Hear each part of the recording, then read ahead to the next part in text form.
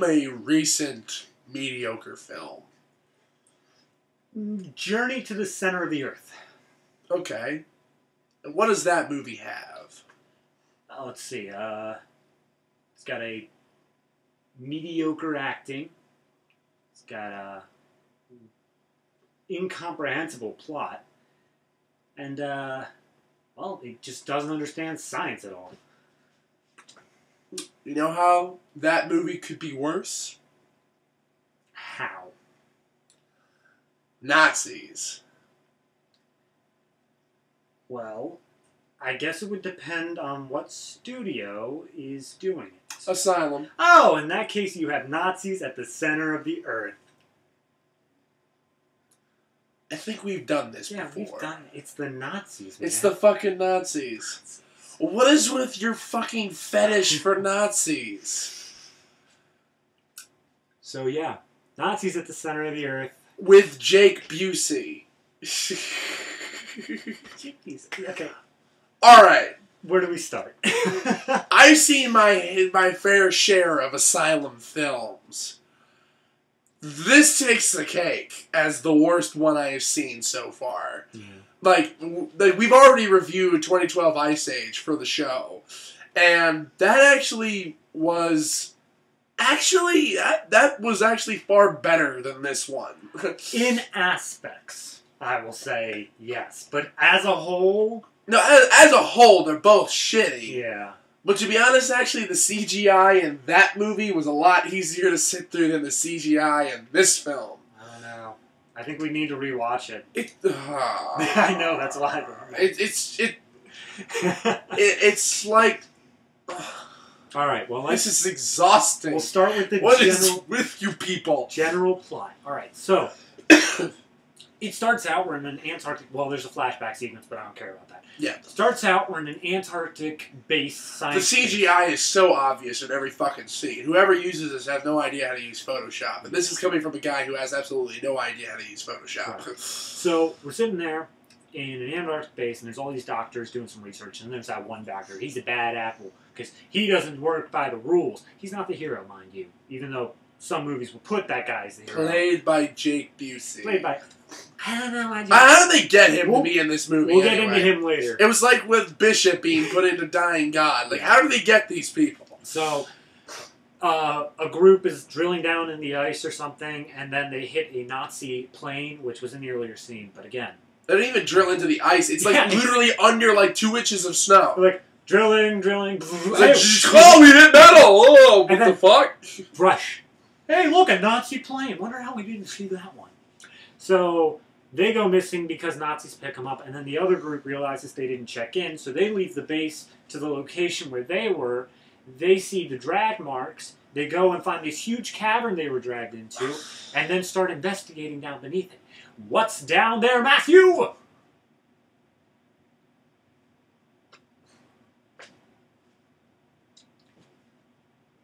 Those motions signify that it is an ancient lost city that is now occupied by old Nazis who have somehow maintained their youth and are performing science well beyond modern science.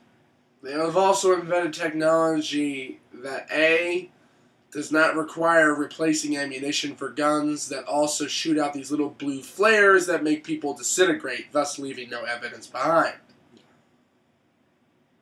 And B, other stuff. I'm sorry, the, the entire time we were sitting through this movie, we had to take like two breaks. We did.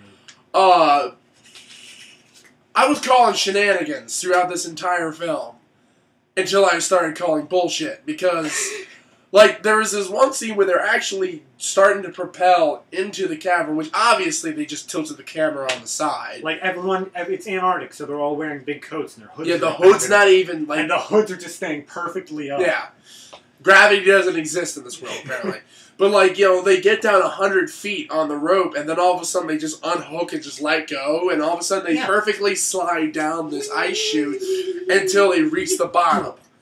Now, as unrealistic as that is, I can buy that as much for one person, but then again, the very next shot after that is they're all down there. Every one of them, and it's a group of like seven people. Yeah, and so how So How does that work? what eventually ends up happening is they all stumble across the Nazi thing, but it turns out they were being led there by that one cop who doesn't play by the rules or whatever. Not cop. Why did I say cop? Why did I say You cop? would think he's like the cop that lives on the edge and whatnot. This is a doctor who lives on the edge who experiments with flesh-eating viruses. He does. This is Busey, mind you. So they get led there. Apparently, he's lived in Antarctica for like ten years. yeah, and he stumbled across the Nazis earlier, and he wants to work with them. So he brought down Shanghai.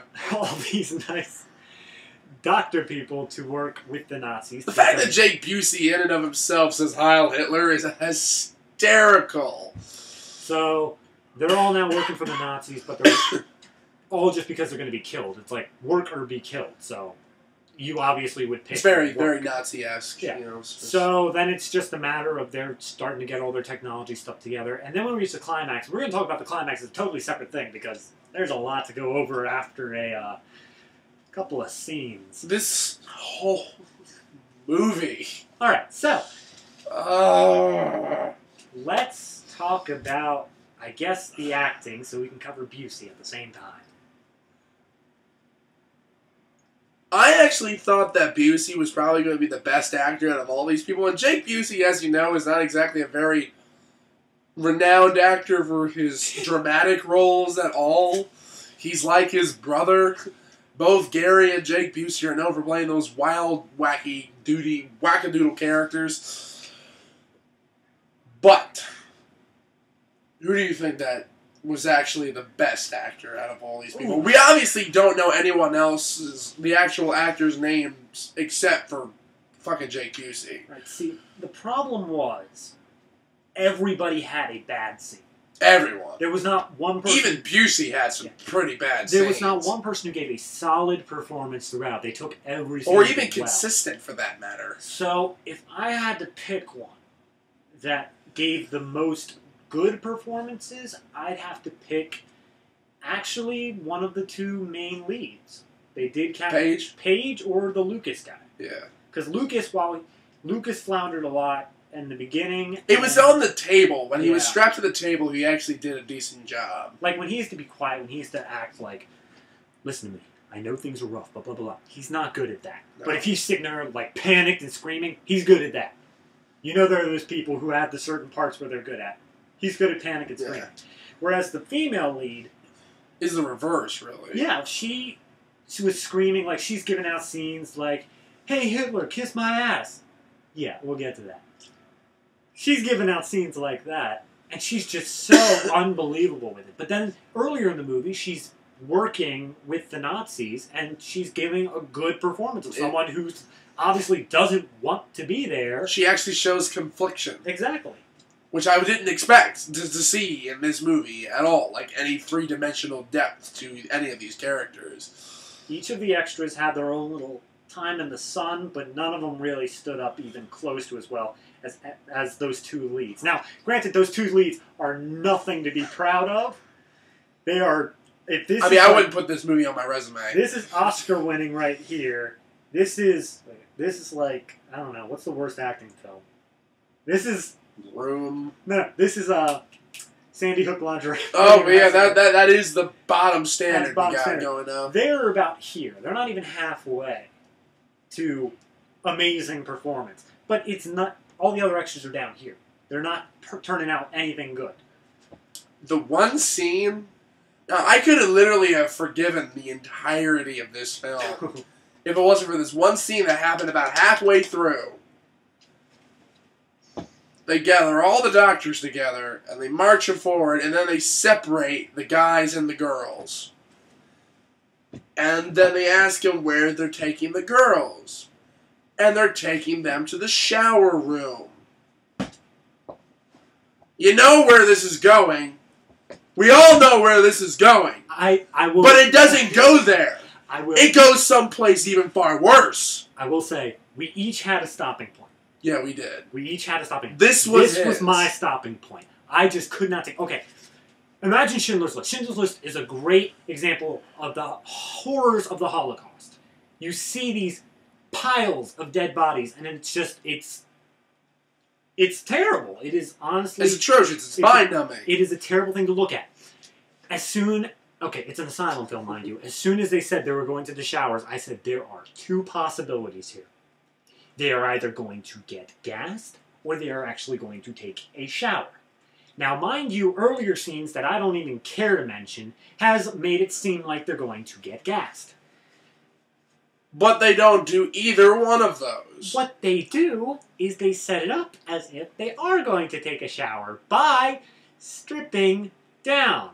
If you have smut in your Holocaust esque film, you're doing something wrong. Even Uwe Boll didn't sing that one. You don't send someone to the gas chambers just to get a nice tit shot. It's oh. now, to on. be honest, a lot of Nazi exploitation movies do this. I mean, this obviously, and actually, it's not even nearly as bad as a lot of different movies. Like, it's actually not even as bad when it comes down to smutty scenes, even like The Night Porter, which is a Criterion movie, or like a real Nazi exploitation movie, like the fucking uh, like uh, like the Gestapo's Last Orgy and that kind of stuff. But still, this is an asylum film. This is a company that has made itself, it has built itself on the prospect of not being taken seriously. Then they throw in a fucking rape scene. Yeah, that's right afterward. Yeah, Like, it, right afterward. the the Nazi like slices her uh, her shirt off and then slices her bra apart, and then you just see there with this random ass tit shot, and then she's just standing there, and then all of a sudden the, the head doctor, who's who supposedly is Doctor Mengele, by the way, the guy who orchestrated all the atrocities at Auschwitz. Basically saying to these Nazis that they can have their way with her, so she gets raped apparently by like four of these decrepit decay. Think about No, I don't want them to think about this. Don't think about think about the, uh, the the the military guys from Planet Terror mixed together with a burn victim. That's exactly what's happening to these guys. It's very close. It's all it's all the medical experiments to trying to keep them alive. They're like replacing parts of their body because apparently that keeps you youthful. Yeah, apparently this apparently Mengele has replaced almost entirely all of his endoskeleton. Ellen endoskeleton. I, I love it. I love that part. The rape scene still gets to me though. Yeah, Okay. that wasn't the part that I actually walked away from the movie though, considering my taste and also my tolerance for movies. Let me take this one. Okay. so, during that same gas chamber scene, one of the women who wasn't the one who got the tit shot is going to be operated on. What do they do? They take off her brain. Because apparently you need stem cells to get this machine that they were talking about earlier to work. Why does it need stem cells? We're not sure yet. We have no idea as to why it could. The damn thing looks like a still for for distilling moonshine. It is. It's just a huge like water heater essentially. So, so what they then do is there's this woman who's been sleeping with um, the one guy who was actually a Nazi but worked in the base. It's a bit confusing all the relationships, but it works out.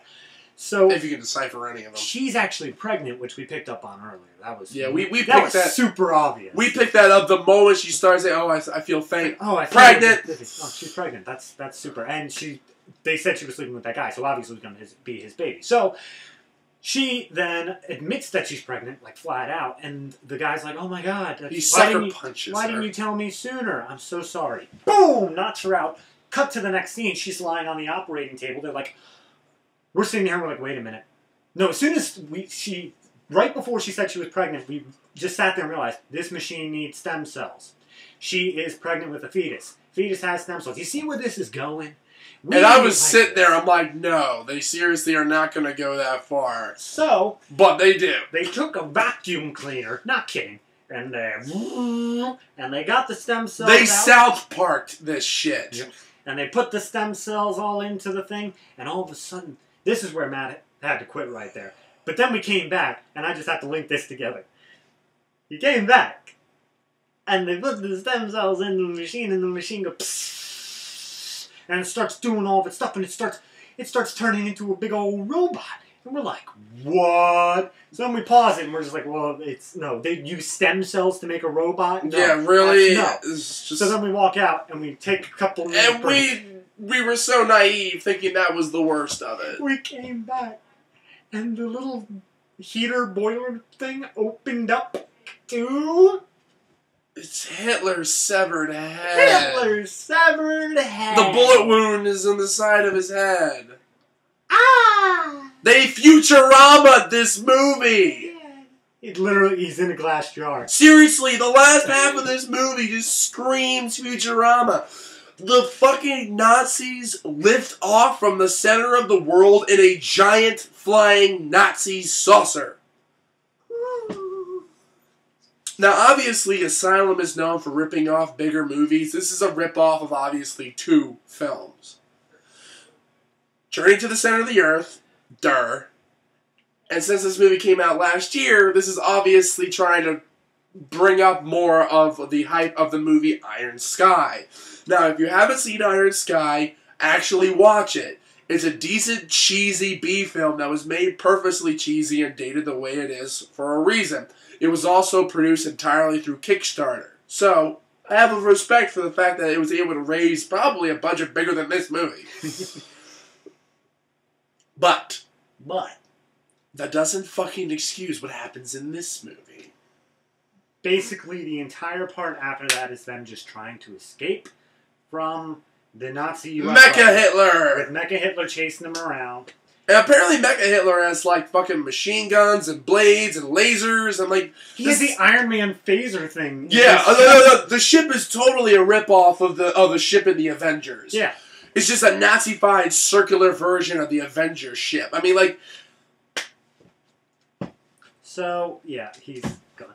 So after that, it, that's basically all you need to know about the movie. there, there isn't much else that, that that's it to the movie. I mean like there is nothing else. It actually is like a very, very thin plot. You can't really say much about It's it. It's a really out there plot, but it's thin writing, they're, they're, the writing in this movie is, is, is standard asylum stuff.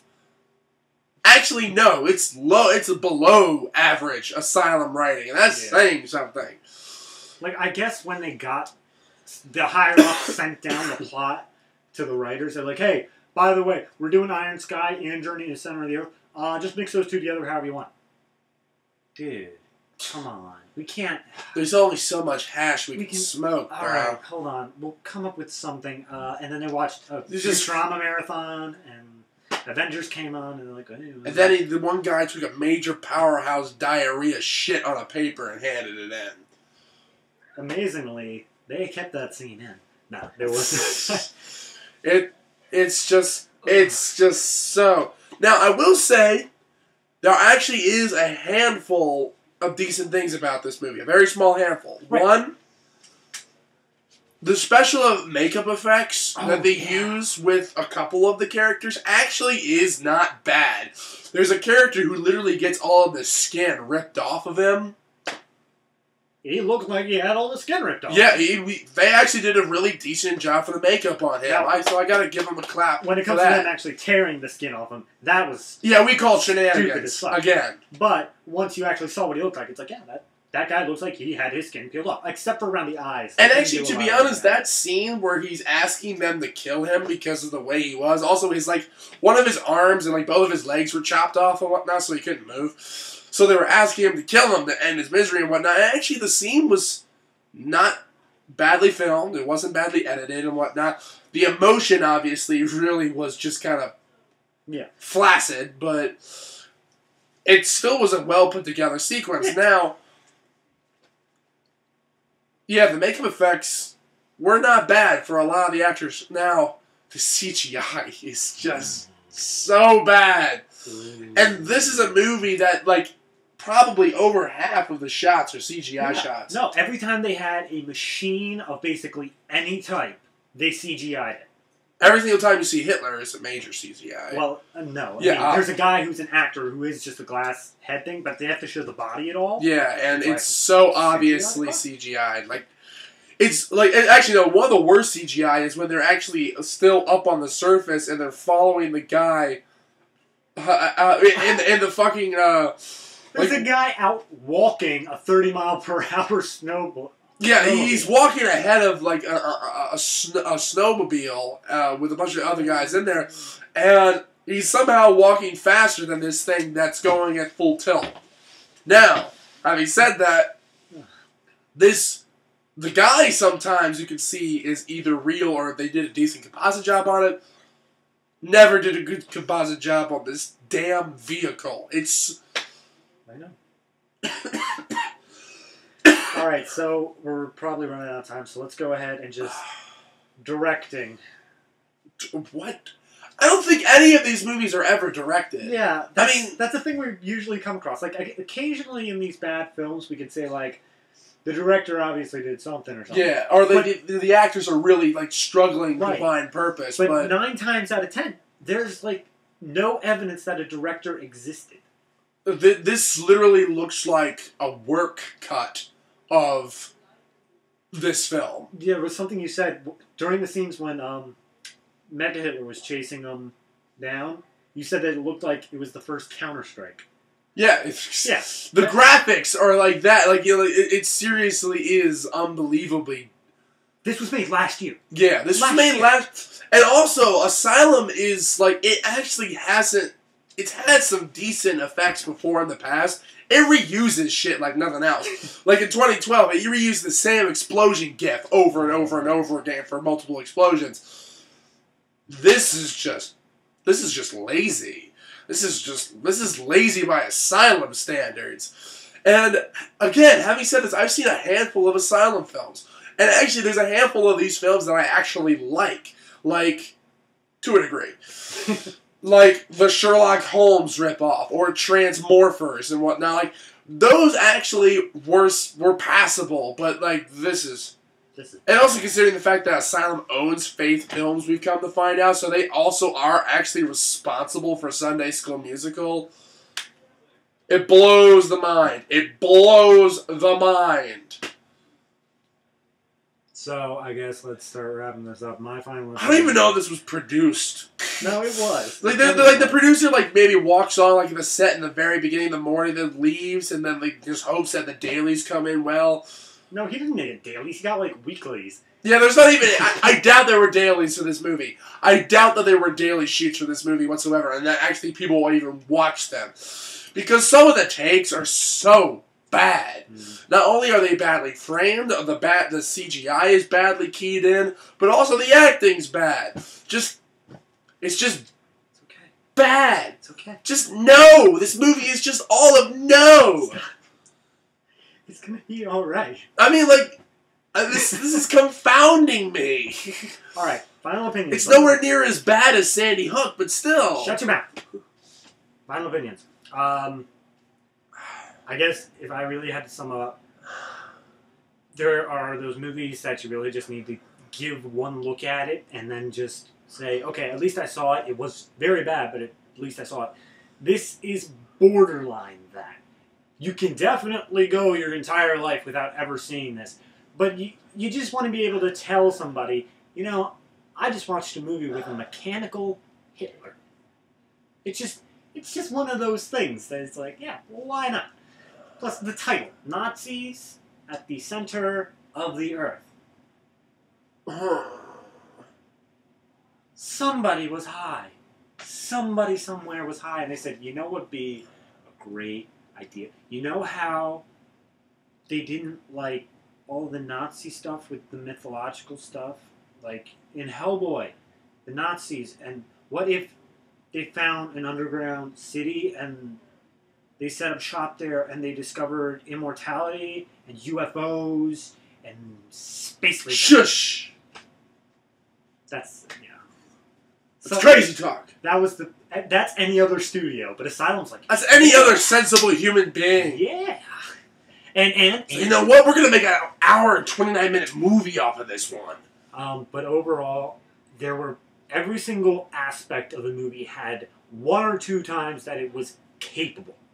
It looked as if it was done within a three week period. It had some competency, yeah, but, but it was there. There was that spark that just didn't carry over in any other sense of the movie. Nothing spread at all. You had like there was one good tracking shot. There was one good of um, the fucking lights. yeah. There was one. There, like I said, every character had that one acting part where they were okay, but nothing great. That's what this movie is. It's a collection of one-time okays, and then the rest of it's just bad. They just managed to space out the okays enough to keep you at least watching. I will say, at least this movie was more memorable than 2012 Ice Age. Oh yeah, considering like li- li- literally, as we said, the movie was completely forgettable to us. This one, nah, it's got some memorable scenes. you don't forget a Mecha Hitler. You don't forget it easy. You don't forget a Mecha Hitler. You don't forget zombie Nazi rape. Stop. No. Okay. You know what? I think we're done. So your final opinions, just get it over with. Wait, wait, shit. What? Deiner Film ist dein Scheiße. Deiner Film ist dein Scheiße. Um. What he said.